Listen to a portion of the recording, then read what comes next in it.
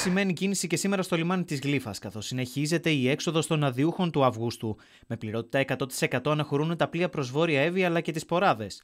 Από πολύ νωρίς το πρωί ω αργά το βράδυ έχει συνεχή δρομολόγια από την Γλύφα προς τον Αγιόκαμπο, με τους περισσότερους ταξιδιώτες να έχουν ως προορισμό το πευκή της Βόρειας Εύβοια, μια περιοχή που δοκιμάστηκε από τις πυρκαγιές.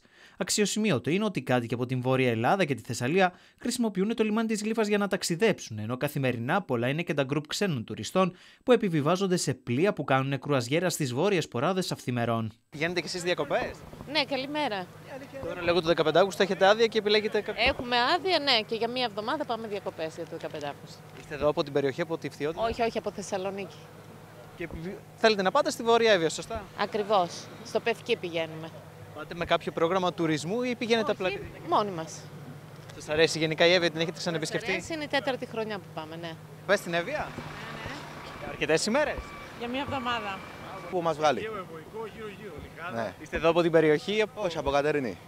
Ε, έχετε ξαναπάει στην Εύβοια; Εγώ πρώτη φορά ο φιλαράκι έχει ξαναπάει, ναι.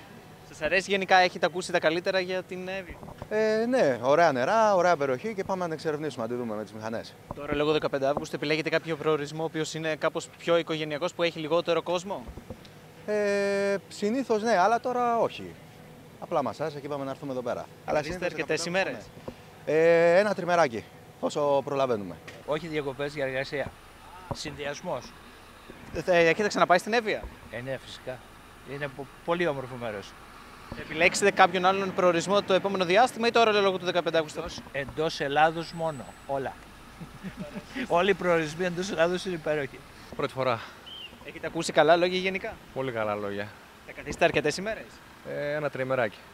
Λόγω 15 Αυγούστου τώρα, έτσι. Από 15 Αύγουστου. Η κίνηση ωστόσο αναμένεται να αυξηθεί ακόμη περισσότερο μέσα στο Σαββατοκύριακο, όπου οι περισσότεροι θα έχουν τελειώσει με τις υποχρεώσεις τους και θα αναχωρήσουν για τις Αυγουστιάτικες διακοπές τους.